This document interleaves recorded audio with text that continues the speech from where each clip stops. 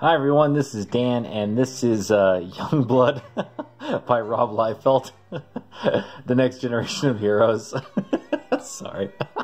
Sorry. So this uh, this series is uh, part of my uh, retrospective on Image Comics, uh, and so part of that uh, is revisiting all of the uh, first issues of Image Comics. So I'll be doing Youngblood, Spawn, um, Cyberforce, Wildcats uh, Pitt, and Wetworks. I will not be doing Gen 13 or Warhawk. I decided to leave those ones out for those of you who are curious. Uh, but uh, anyhow, sorry, I can't stop laughing. I just finished this book. oh man, Rob Liefeld. so, for those of you who don't know who Rob Liefeld is, besides being the butt of uh, a lot of jokes on the internet, uh, Rob Liefeld first got his start at Marvel. I, I, think he really became famous for jumping on New Mutants. In fact, he uh, got on the New Mutants uh, during uh, Louise Simonson's run. That was long after Chris Claremont was gone. And uh, he was a big driving force behind the New Mutants uh, eventually becoming X Force.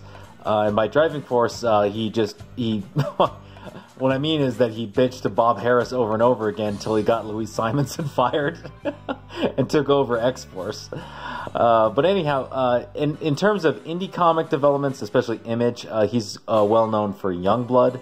Uh, at the time when this released back in April of 1992, it was the highest selling comic book in America, uh, which is slightly depressing.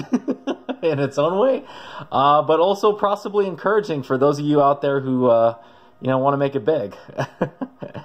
Anyhow, uh, this book is actually rather interesting. So there's two sides to it. There's a uh, short story side. On this side, I think it's about 12 pages or so.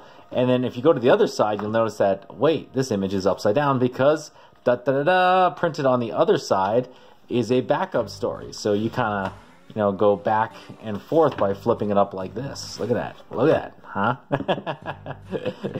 Anyhow, Rob Liefeld was the, uh, I guess you could say, almost stereotypical 90s artist, like almost indicative of the style of this decade.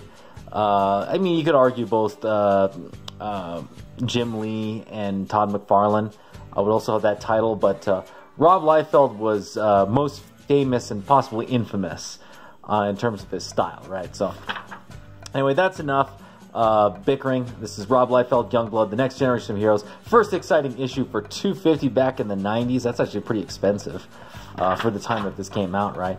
And we open up. It's uh, Washington D.C. Uh, some chicks yelling about unbelievable.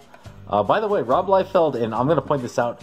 Like his ladies look very similar. That's what I've noticed. this is about the extent of his backgrounds, by the way. so anyhow, this guy uh, goes on, and we get uh, some dude getting ambushed in the mall. Uh, he's got kind of like this weird fro, uh, and he ends up beating these dudes. And uh, you know, the press uh, comes by to interview him, and he gets introduced as Shaft, as a member of the Youngbloods. by the way, like all of this is what the internet will tell you is wrong with Rob, Rob Liefeld. is all the tiny feet uh, for me personally, uh, looking at Rob Liefeld, and I'm going to show it in a couple other panels, uh, my biggest problem with his characters is uh, they all look like ghosts. And I'll explain that in a little bit. anyway, we get introduced to this character. This is uh, Bedrock, and uh, apparently he's a little boy or something. I don't know, it's not really explained. Then this dude doesn't really get introduced, so I guess he's he's not important. By the way, I know that they introduce him in this front page right here, but I'm just saying in terms of the writing of the story, nothing's really introduced. Uh, there's Chapel, he's uh, sleeping with some chick, and then some other chick, I don't know who this is, she doesn't get introduced, so she's probably not important. Uh, and then a bunch of people floating around. Sorry, I just can't help it. Like, look at that. More people floating uh, more people. Sorry. These these uh, figures you'll notice like like take a look at this figure right here, and then uh, here let me show you something right here. Yeah, take a look at these figures, right? They all basically look the same, right? So Rob Liefeld literally like copy pasted a bunch of figures over and over again, right here. It's uh it's pretty bad. By the way, this is like the best background he draws in this issue. Anyhow, Uh, they end up hunting down uh, this group of villains, which I kind of don't really care for, but you know, whatever. Uh, and they have some subtext going on. I don't know. Nothing's really explained. And then you get a big fight. So I'm stopping this video uh, for a quick observation.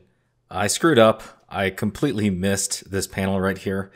And uh, what I mean is uh, this. What the hell is this guy doing? oh man, he's like pelvic thrusting him, this dude to death. Holy crap. Just, I guess, I guess Rob was drawing this and he was like, fuck anatomy. Anyhow, uh, if this review sounds like I'm just trashing uh, Youngblood, uh, it's because I am. I'm not saying Rob Liefeld is a bad artist. If you like Rob Liefeld, more power to you. And I'm sure he's drawn a lot of great stuff too. Uh, but this ain't it. Whew, boy. All right. Uh, back to our regular scheduled program. and then uh, here comes the young bloods and here comes so this chick right here is like this is what bugs me the most about rob liefeld is everyone's like floating in the air now the small feet is like a style thing i personally don't really care for it like or i mean i don't mind it so much i should say i don't think it's something that you know he should be ridiculed for it's like yeah whatever he draws small feet right uh, but the whole floating in the air and then if you take a look at this like the the anatomy kind of like it kind of doesn't make sense. It almost feels like he drew this separate from this, right? Uh, but yeah, no, this is a very interesting post. Anyway, uh, the, the, story basically ends on this double page spread, and, and that's pretty much it. But you go to the back side, and we get a totally different story. This one actually is a complete story, uh, which thank God. Uh, by the way, uh, you better get used to these news reporters here for this image series because this whole like news report on like cable TV kind of bullshit from the 90s. Uh, it's going to get repeated for like like four more issues that I'm going to go over. So get used to it. Anyway, they're explaining some kind of terrorist situation out in the Middle East. Blah blah blah blah blah. Uh, big double page spread. Uh, this guy. I've been looking at this double page spread for a while, and I I feel like something is off here. Like I don't know where the perspective go. I, I know it's flowing this way, but then the way this guy is set up doesn't really make a lot of sense. Uh, and then the, obviously this guy's body doesn't make sense, but whatever. Rob Liefeld, you know, and and then this guy's huge, but this chick is really tiny. Like, am I taking crazy pills here? I might be taking crazy pills. Uh, maybe maybe I'm nuts. Maybe I'm wrong. Maybe maybe I, I just don't understand this this masterpiece that I'm. Uh, looking at right here. anyway, uh, they're jumping in, and here's what I want to get to, right? The story doesn't matter because Rob Liefeld doesn't really coherently explain it to you.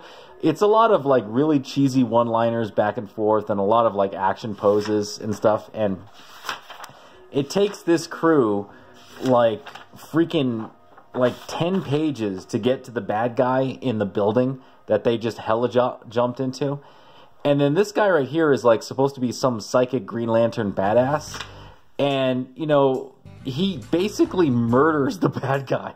He straight up murders him. That's insane. And I looked at this and I was like, everyone is like, oh, wow, that's pretty bad and everything. And I'm like, dude, isn't this supposed to be next generation of heroes right here? What kind of hero just murders a dude without any, like, provocation? What the hell is this crap? oh, this book is so bad. oh man. Anyway, it, to make it any worse, so they the dude murders uh, this uh, I guess dictator or whatever, and then they cover it up by saying terror ends in suicide. So because I don't know if this is like some sort of commentary on like uh, maybe like uh, U.S. freaking involvement in like world events or something like that. But the whole story is nonsensical, and it ends with like our supposed heroes being very unheroic. Uh, and that's it. You get a half story and a story that doesn't make any sense for 250, and a bunch of people floating around in the air. and that's that's Young Bloods in a nutshell. I mean, I could probably go further into detail, but I'll be honest with you. Uh, just go out and, and, and, get this book, and you'll kind of understand what I'm saying. By the way, this book was 250 and I picked up Young Blood at a. In fact, I picked up all of these books for really cheap. In fact, I'll go grab them right here.